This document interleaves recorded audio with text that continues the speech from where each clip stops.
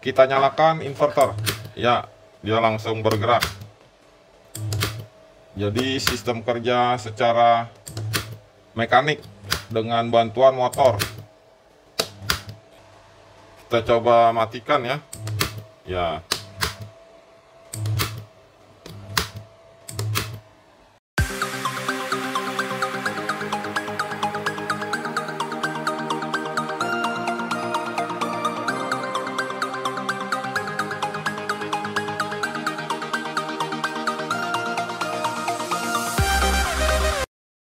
Ya, jumpa lagi channel Hari PLTS. Salam sehat dan sejahtera untuk teman-teman semua. Oke, jadi hari ini ya saya akan sharing atau berbagi yaitu ATS Automatic Transfer Switch. Jadi kita akan bongkar dalemannya seperti apa ATS ini. Dan kita akan nyalakan supaya mengetahui cara kerja dari ATS analog ini yang digerakkan oleh dinamo oke langsung kita bongkar untuk ATS ini ya. Jadi kita buka semua lalu kita pasang ulang. Dan kita on kan untuk mengetahui cara kerja dari ATS analog ini. Ya, jadi kita buka satu persatu. Untuk perkabelannya supaya kita bisa bongkar automatic transfer switch ini dan nanti kita pasang kembali Ya, kabel sudah terbuka. Kita buka yang sebelah kanan. Oke, sudah terbuka. Dan kita akan buka output dari ATS ini. Jadi perkabelan semua kita buka dan kita akan bongkar dalaman ATS ini supaya kita sama-sama bisa mengetahui cara kerja ATS ini. Jadi kira-kira seperti itu. Oke, kabel output sudah terbuka semua. Tinggal kabel input.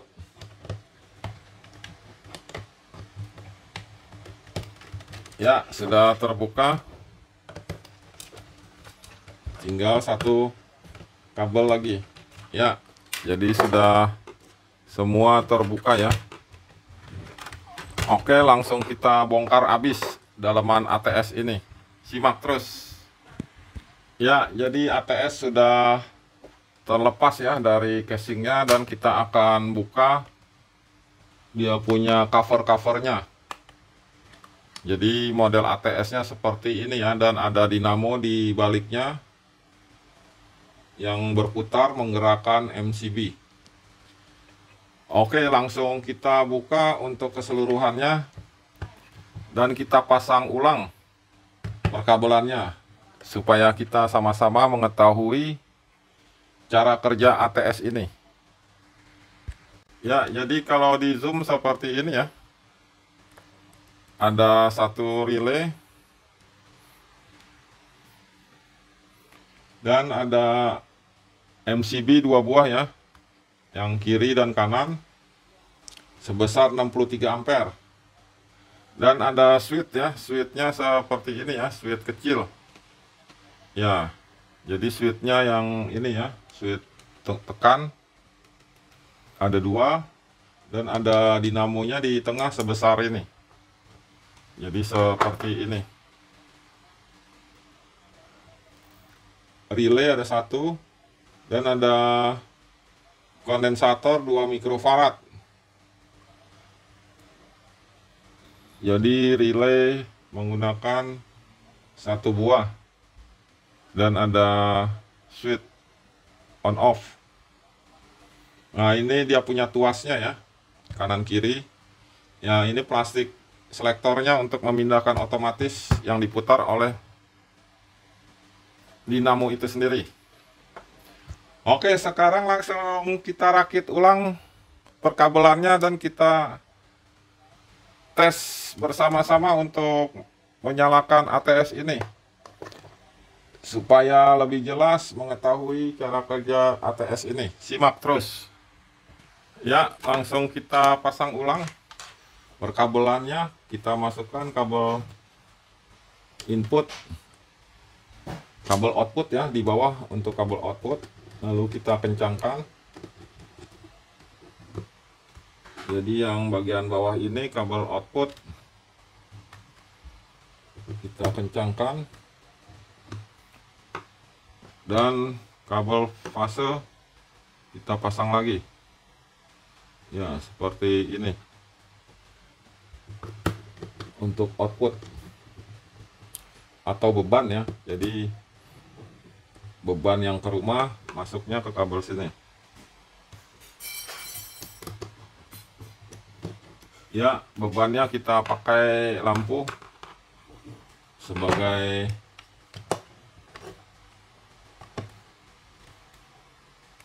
output beban. Kita pasang dan kita kencangkan. Oke sudah kencang. Dan satu lagi kabel yang netral warna hitam. Jadi warna hitam netral warna merah. Fase. Ya kita kencangkan kembali. Ya sudah kencang ya. Jadi seperti ini cara pasang perkabelannya. Oke.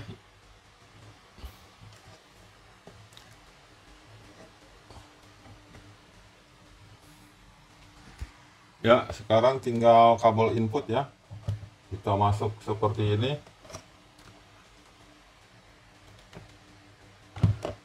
Lalu kita kencangkan.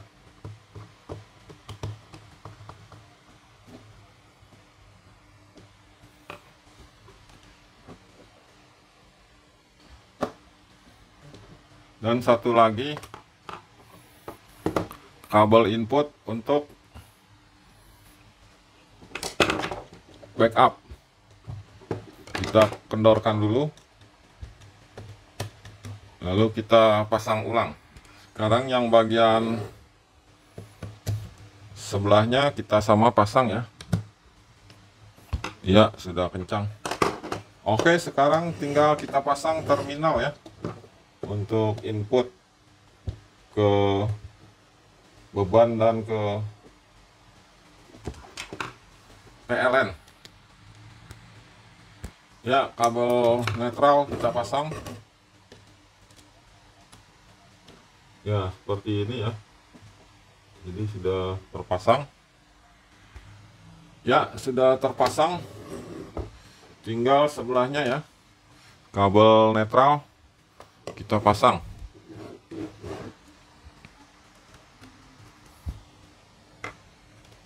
Oke langsung kita kencangkan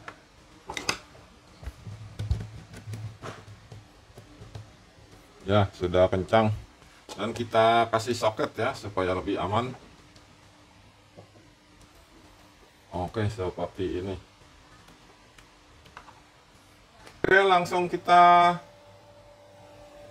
tes untuk pergerakan motor di dia punya ATS ini. Jadi yang tengah ini motor dia akan bergerak ke bawah dan ke atas. Oke saya matikan inverter ya langsung connect berpindah. Dia punya tuas NCB dan kita nyalakan lagi. Ya jadi seperti ini cara kerjanya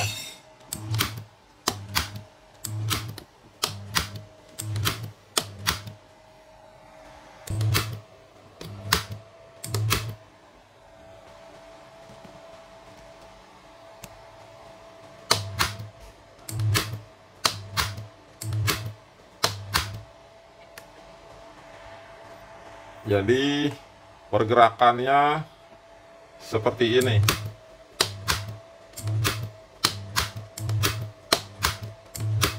dia tidak akan bentrok karena ada ke bawah dan ke atas dia punya tuas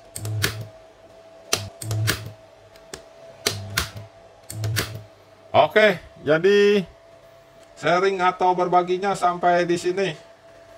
Yaitu bongkar habis ATS Automatic Transfer Switch secara analog atau pergerakan dengan dinamo motor. Semoga bermanfaat.